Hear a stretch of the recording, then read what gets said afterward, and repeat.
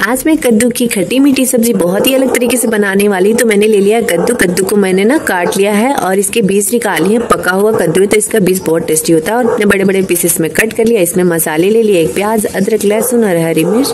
फिर एक कढ़ाई गर्म किया, उसमें डाला सरसों का तेल पंचफोरन डाला और दो तीन तेज पत्ता डाल दिया।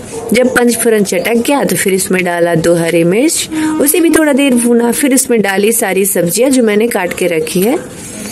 और सब्जियों सब्जियों को डालने के बाद मैंने दो मिनट उसे भून लिया। भूनने के बाद जो मसाले थे, उसे मैंने मिक्सी जार में महीन पीस लिया था। उसे भी इसी के साथ डाल दिया। चूल्हे का हीट थोड़ा सा तेज कर दिया और मसाले को थोड़ा भून दिया। फिर हीट को थोड़ा सा लो किया, उसमें सारे सूखे मसाले ऐड किए। नमक ऐड किया, फिर इसे और थोड़ी देर भूना। उसके बाद इसमें डाला कसूरी मेथी, थोड़ा सा पानी और ना गुड़ डाल के मैंने ना थोड़ा सा ढक के पका लिया। आप चीनी भी डाल सकते हो। और देखिए, कितनी टेस्टी और ग्रेवी वाली ना कद्दू की सब्ज़ी